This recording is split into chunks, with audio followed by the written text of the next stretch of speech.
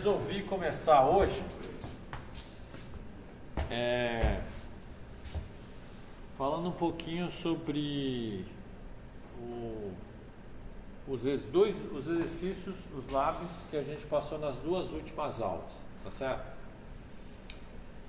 Então a gente estudou alguns aspectos específicos, né, desses labs nas duas últimas aulas e eu queria hoje fazer umas discussões porque essas coisas que a gente viu elas vão ser base para o que a gente vai estudar hoje, tá certo? Então deixa eu só lembrar vocês, vocês devem estar lembrados porque esses laboratórios são recentes, né? Mas de qualquer maneira,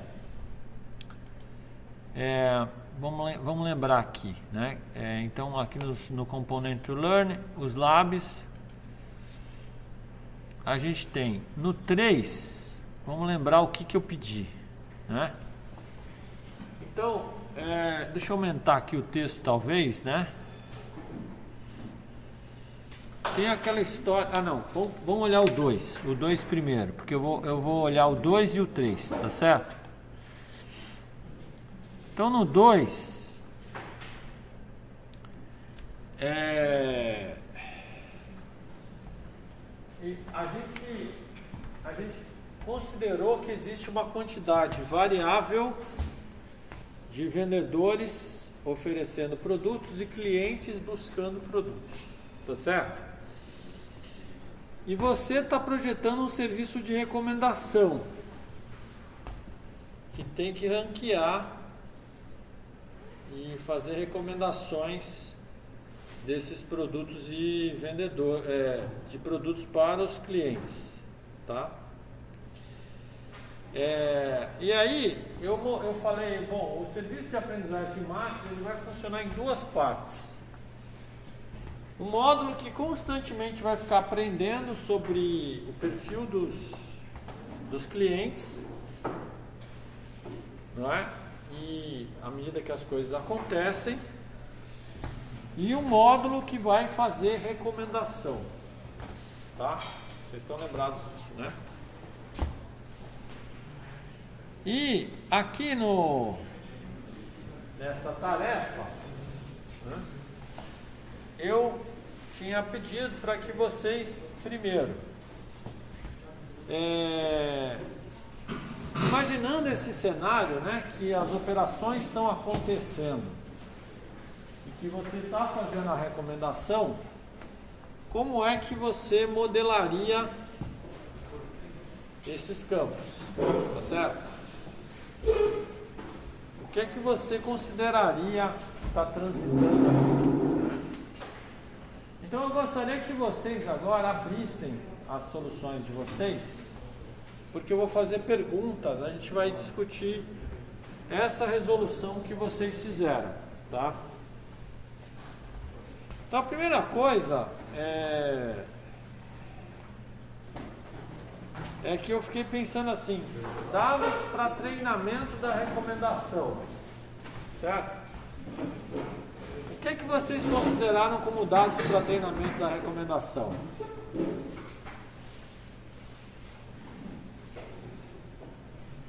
Conseguiram abrir aí? Dados para treinamento da recomendação. Vamos lá.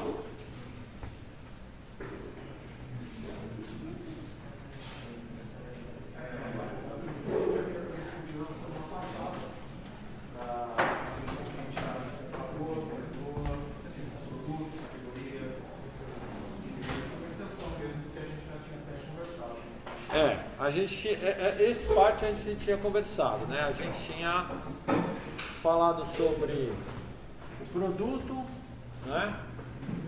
O cliente, certo? Valor, o que mais? Prazo de entrega, né? Hã?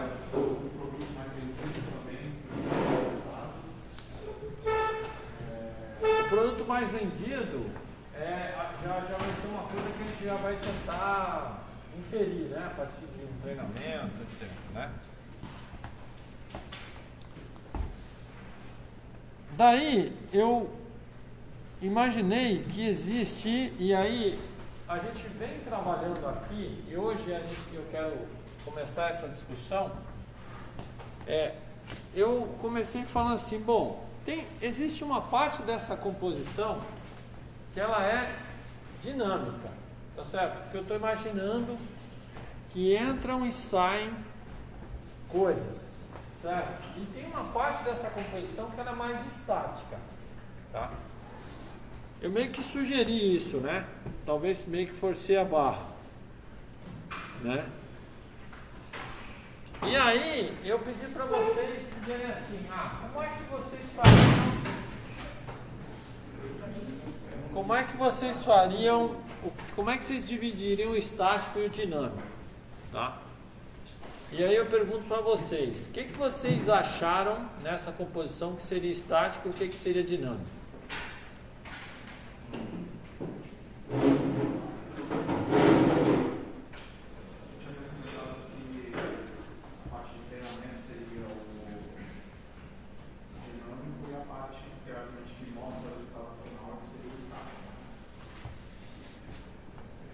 Você imaginou que toda parte que você treina, que você vai obter os dados para treinar é dinâmico.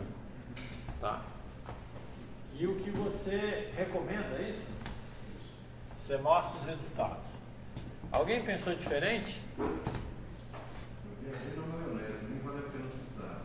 Viajou na maionese? O que, que significa viajar na maionese? É, algo completamente longe disso.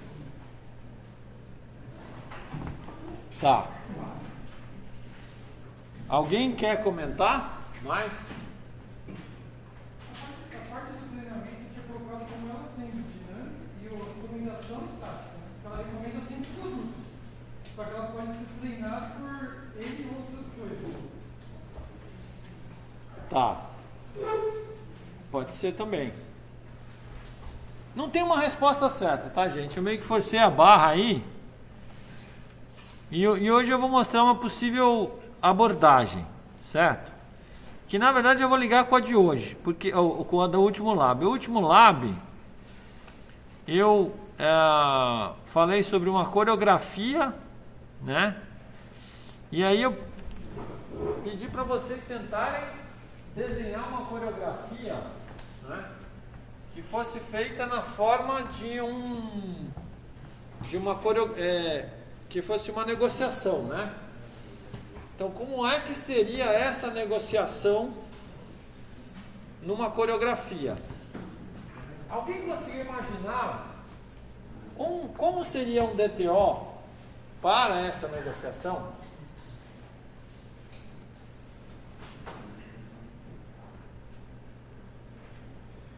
O que, que teria nesse DTO? Produto, vendedor, Hã? O cliente. O que mais? Eu a própria, a própria pesquisa. A própria pesquisa, o que ele está procurando. Vocês fizeram DTOs diferentes para cada situação ou vocês fizeram um só? Você fez diferente. Alguém fez um só? Fez? Como é que é o teu um só?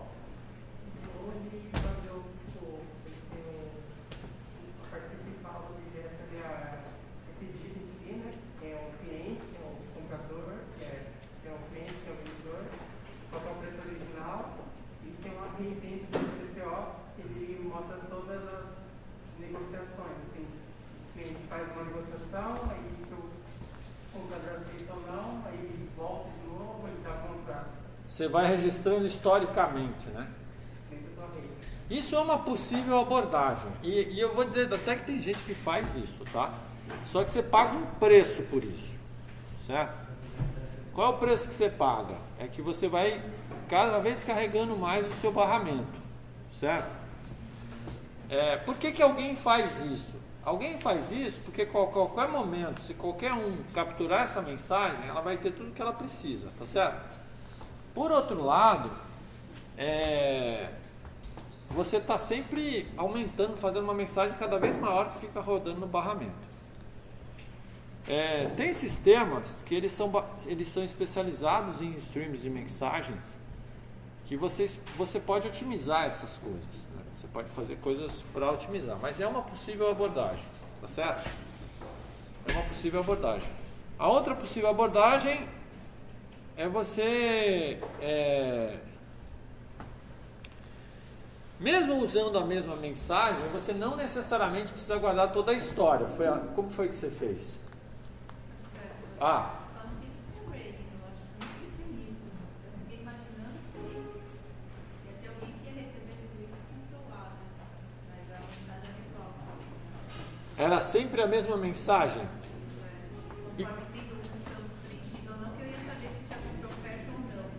Boa.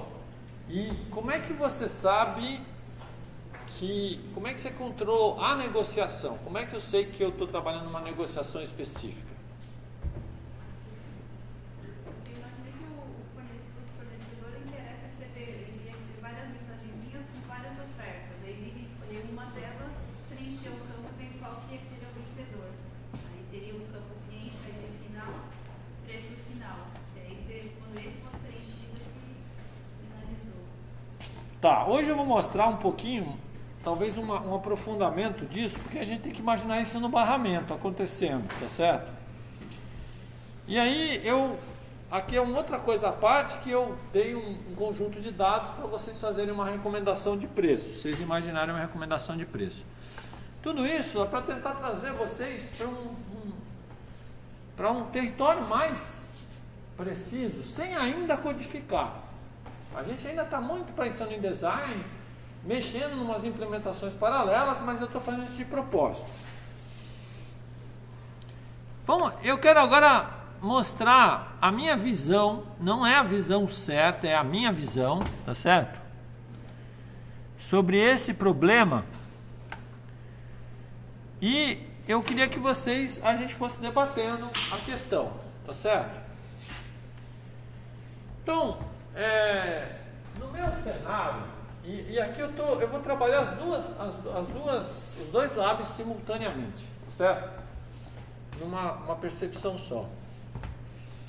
No meu cenário, eu imaginei que existe esse barramento, tá? E que eu tenho é, clientes e vendedores que estão associados a esse barramento.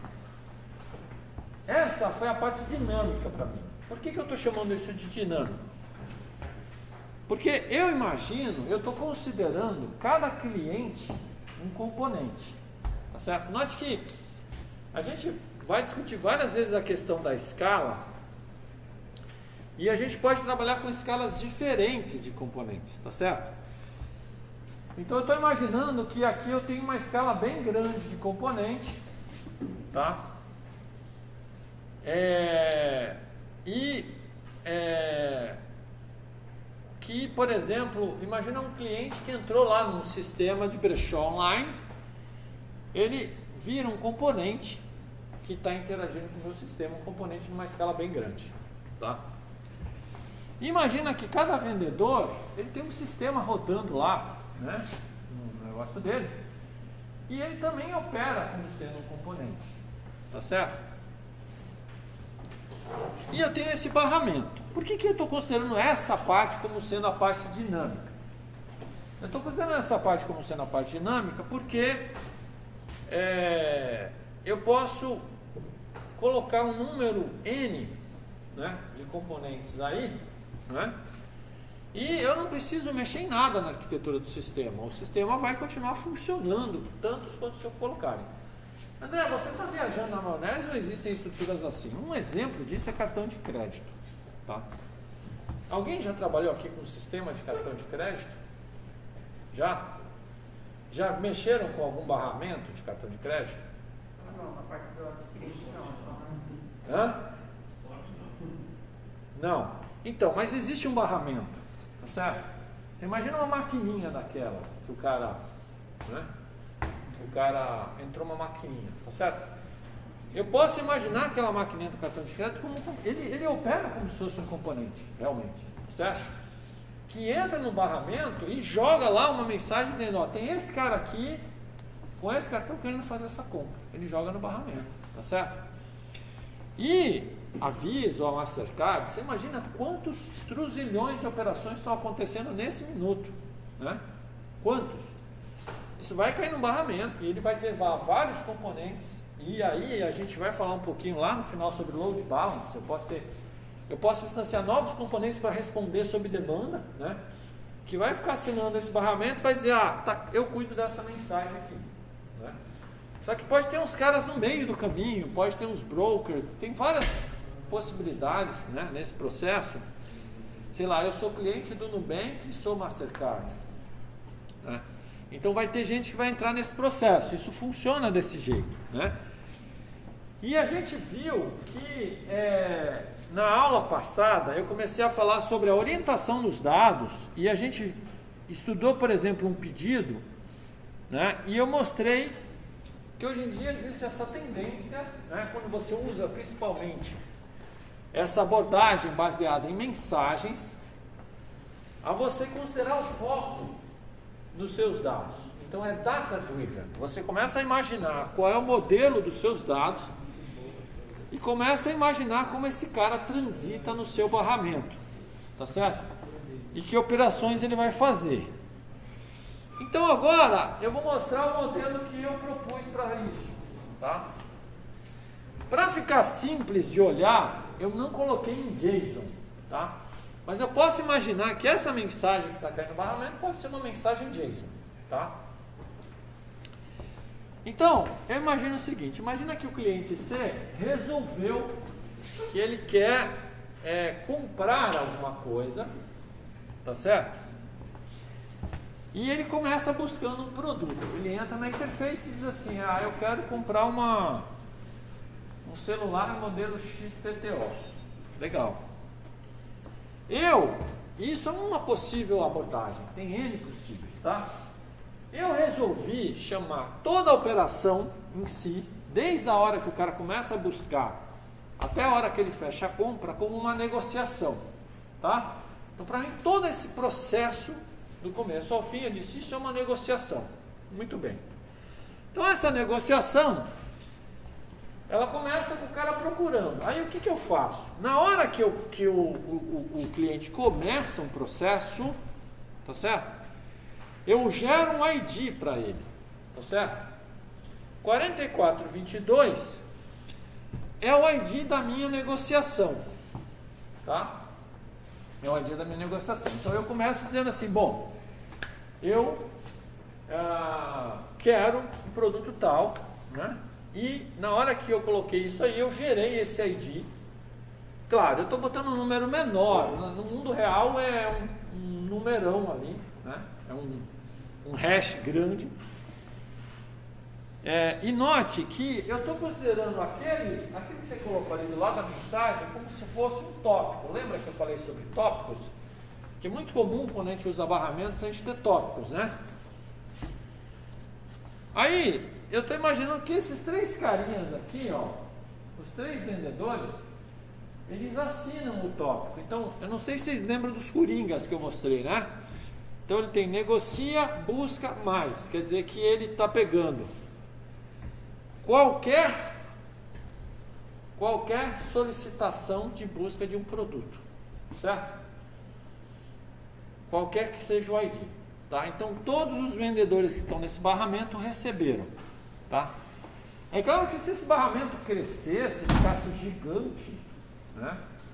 Talvez a assinatura não poderia ser eu recebo todas as mensagens, senão começa a ficar muito pesado, todos os vendedores recebem todas as mensagens.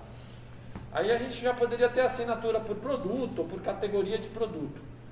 Né? Que aí o cara só receberia daqueles produtos que ele vende, ou daquelas categorias de produto que ele vende. Mas aqui eu estou fazendo um cenário simplificado. Está todo mundo acompanhando aí? Tá.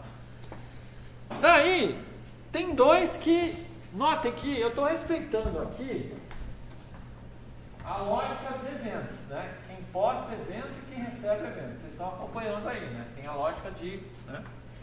Então, é, tem dois que resolvem, eles têm esse produto. O terceiro ali no meio não tem. Os dois que tem, né? Eles vão postar uma mensagem, é, negocia a oferta, certo? E notem que ele coloca na, no tópico o ID da negociação, que foi gerado originalmente pelo cara que fez a busca. Tá certo?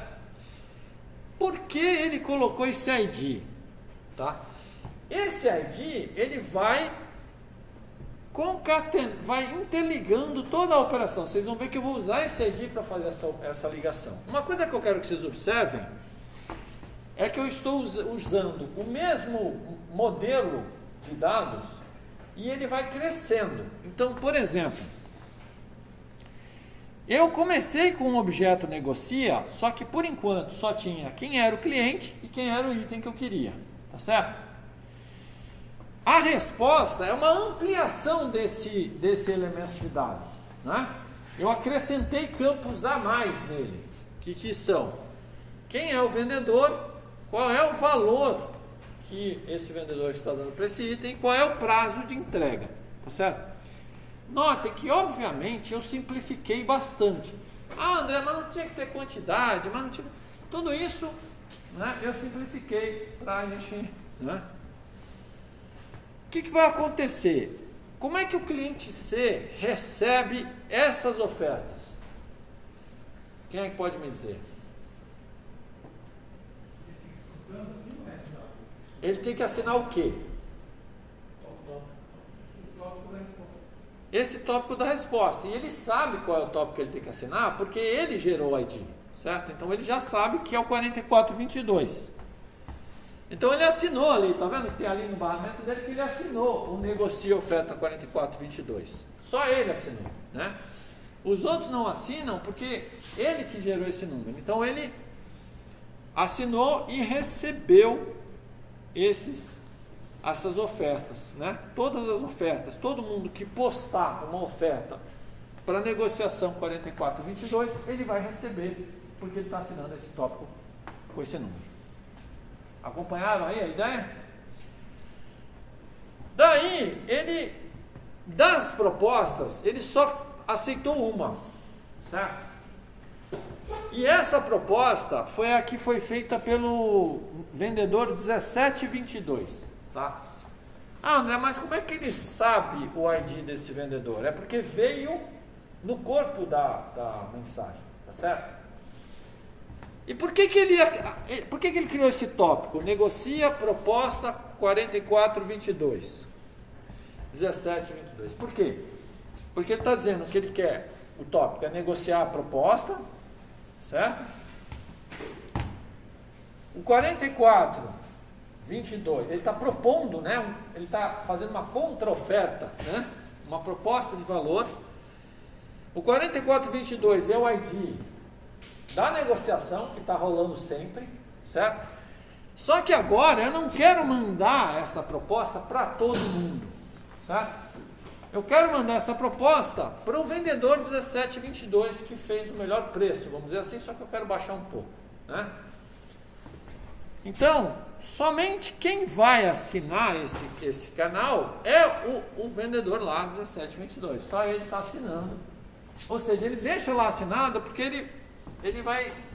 A expectativa de que talvez ele receba uma resposta. Certo?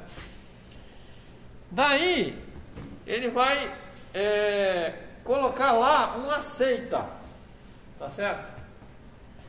Então negocia, aceita 44, 22, 17, 22, que é o vendedor. Tá certo? Esse cara assinou esse, esse, esse tópico. Então vocês estão vendo que na medida, eu posso usar identificações para fazer comunicação um a um, se eu quiser. Tá? E aí esse cara diz, ah, tá bom, então eu quero comprar. Tá? Note que novamente ele usou 44, 22, 17, 22. Tá certo? Esse cara recebeu, e aí eu não representei o resto da compra, tá certo? Porque vocês já deu para vocês entenderem, não deu? Como é que é o negócio? Então isso permite que eu faça um processo. Isso é uma coreografia, né? Por que isso é uma coreografia? Porque ninguém está comandando isso. Existe sim uma lógica de como isso vai acontecer. Isso é uma negociação, né? que poderia ser inclusive automatizada se eu quisesse, né? entre as partes. Tá? Eu poderia ter dois bots negociando se eu quisesse. Tá? E ele funciona num ambiente de coreografia distribuído.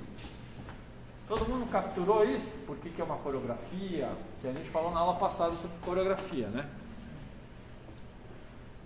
É, agora, eu tinha pedido para vocês imaginarem que existe um cara ali de, que, vai aprender, que vai fazer recomendação, tá? Então eu, eu tirei lá um dos vendedores, só para a gente ilustrar aqui, eu acrescentei um recomendador, certo? E vocês lembram que esse cara que recomenda, ele vai ter dois momentos, certo? Ele tem um momento que ele aprende e ele tem um momento que ele recomenda, certo? Bom, eu ilustrei aqui só o momento que ele aprende. O que ele recomenda vai ser uma consequência disso, eu vou comentar daqui a pouco, tá?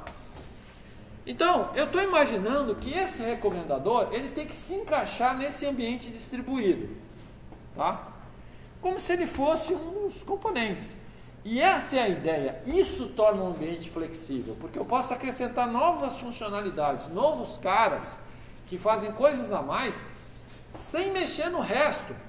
Então, eu acho que eu acrescentei um cara que recomenda e o resto não precisa ser modificado. Ele só vai assinar, por exemplo. Então, vamos começar, vamos pegar aquela, aquele trajeto que a gente já fez, vamos pegar ele. E agora vamos imaginar o mesmo trajeto, só que tem esse cara recomendador.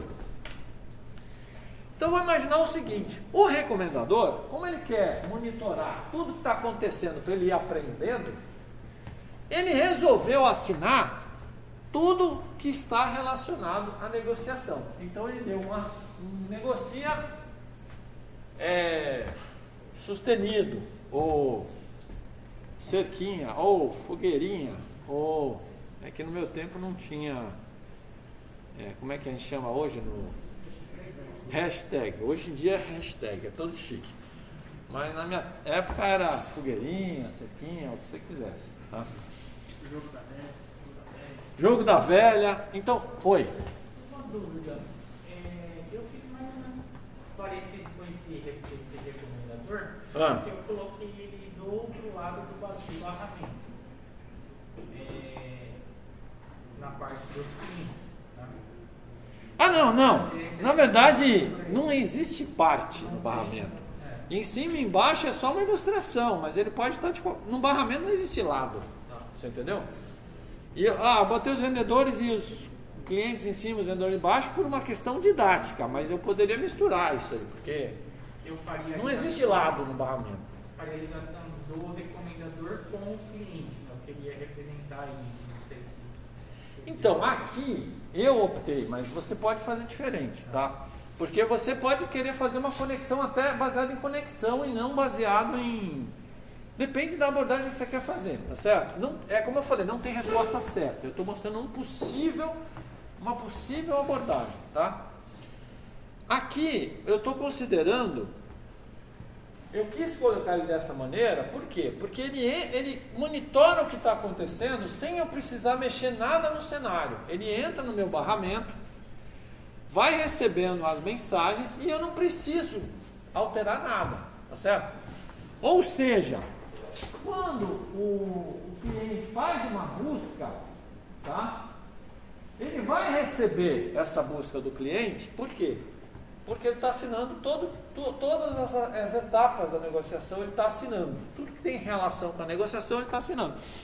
Então ele vai fazer essa busca, ou ele vai receber.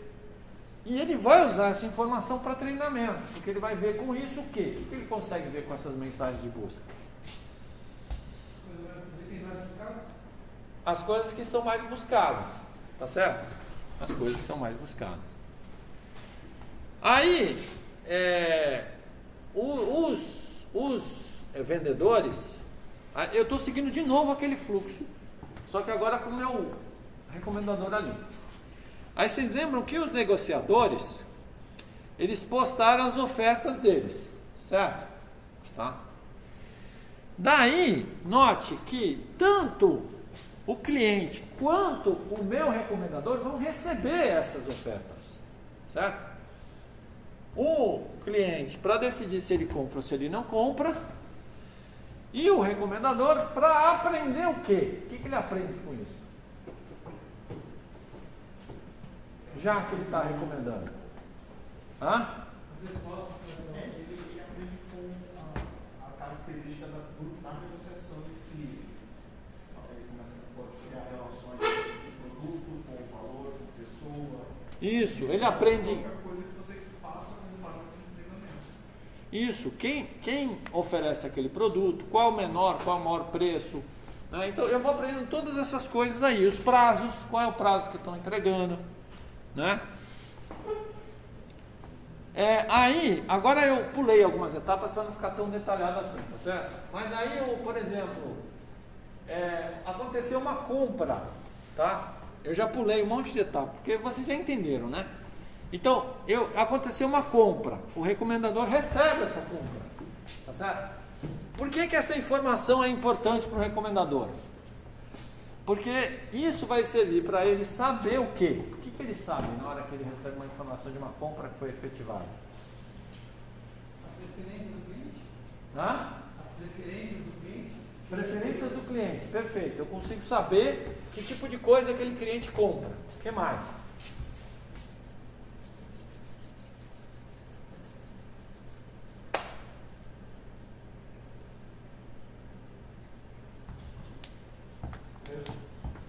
Oi? Preço. Não só daquele cliente, mas que preço está se pagando por aquele produto, né? Qual é o preço que as pessoas estão dispostas a pagar? Ele pode aprender preço versus prazo, né?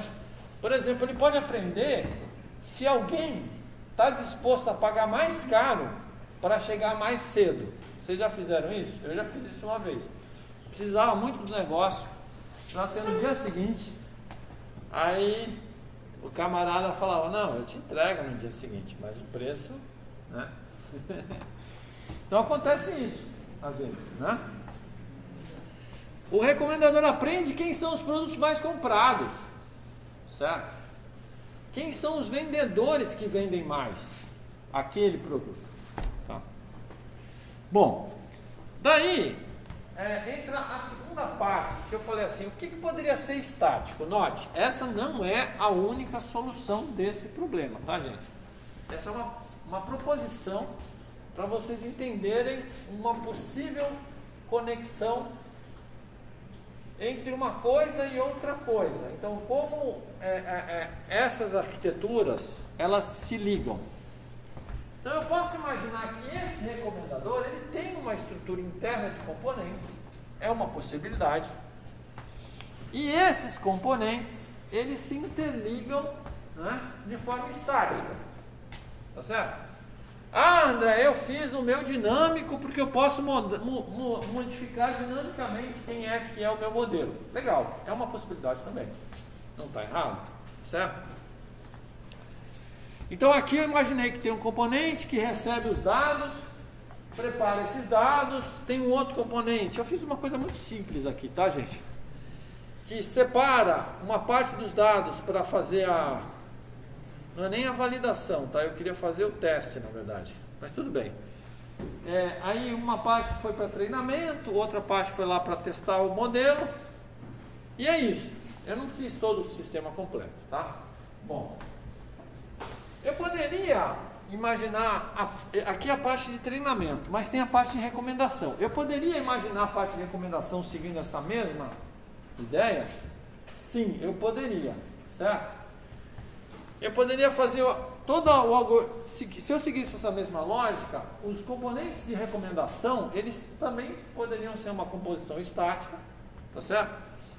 Agora, como o recomendador recomenda isso para um cliente, por exemplo, ou, né, poderia ser via barramento, certo?